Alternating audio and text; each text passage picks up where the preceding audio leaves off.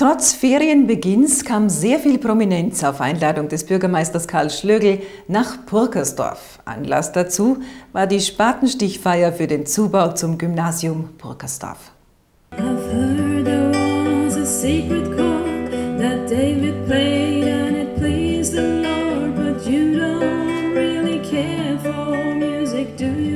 Es ist der Spatensticherfolg für den Zubau. Das heißt, das Gymnasium ist eine einzige Erfolgsgeschichte. Ja, ich denke, es schaut so aus. Ja, es ist wirklich ein Freudentag. Wir haben schon darauf gewartet, denn das Wandern in das Professorium war uns jetzt doch schon zu mühsam und wir freuen uns sehr auf diesen Nachmittagsbetreuungswürfel und Klassenwürfel, wie wir ihn nennen. Das Gymnasium Burgersdorf ist wirklich eine Erfolgsgeschichte. 96 begonnen mit zwei kleinen Klassen als Privatschule der Stadtgemeinde. In der Zwischenzeit mehr als 1000 Schülerinnen und Schüler, 100 Lehrer und die Schule ist sehr, sehr angesehen und weit über Burgersdorf hinaus bekannt. Ich freue mich sehr im Zusammenwirken mit einer unglaublich engagierten Direktorin, Frau Ille, entwickelt sich dieser Standort beispielgebend und hervorragend. Viele Kooperationen, auch mit der neuen Mittelschule, mit innovativen Projekten. Und so freue ich mich, dass jetzt hier der Spatenstich stattgefunden hat. Es wird die Infrastruktur erweitert, äh, Kostenpunkt etwa 3,3 Millionen Euro, die hier seitens des Bundes äh, investiert werden. Gut investiertes Geld mit mehrfachem Nutzen und das sind halt die Momente, wo man sich als Ministerin einfach einmal nur freut. Wenn eine Schule mehr Raum benötigt, heißt das, dass mehr Jugendliche natürlich in die Schulen strömen.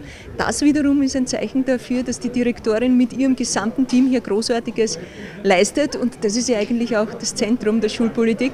Und das ist eigentlich heute ein Zeichen, dass, dass es hier funktioniert. Und deswegen wird die Infrastruktur vergrößert. Also eine mutige, weitblickende Entscheidung von Bürgermeister Schlögl, hier ein eigenes Gymnasium zu errichten. Er hat diese Erfolgsgeschichte auch erwähnt aber auch ein Zeichen, dass in der Bildung wirklich viel weitergeht in Österreich.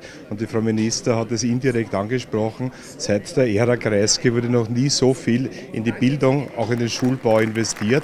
Das sind wir unseren Kindern, aber auch den Eltern, der Wirtschaft schuldig.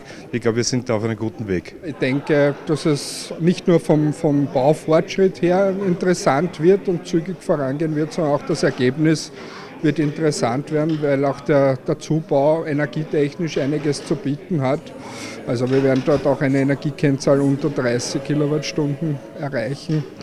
Und äh, es werden auch die Klassen mit einer Komfortlüftung ausgestattet, äh, die CO2 gesteuert ist. Also auch von dieser Seite her werden da, sagen wir mal, Stand der Technik Standards gesetzt. Ja. WIPO ist ein verlässlicher Partner unserer Stadt und die als Baustadtort kann das nur äh, bestätigen, ob das jetzt äh, auch der geplante Umbau des, und Sanierung des Rathauses ist, was wir für unsere Mitarbeiter wieder am letzten Stand bringen wollen, ob das der Kindergarten war. Unsere WIPO ist ein verlässlicher Partner oder auch, wenn es geht, um, um Häuser zu sanieren und auch zu verwalten, wie es es in der Herrengasse 8 tut. Also die WIPO ist für uns als Stadt ein sehr, sehr wichtiger Partner und ich glaube auch nicht mehr wegzudenken, weil es einfach professionelle Arbeit ist und vor allen Dingen Arbeit sein kann, die in manchen Dingen schneller vonstatten gehen kann, als wenn man permanent Gremium damit, Gremien damit beschäftigen muss.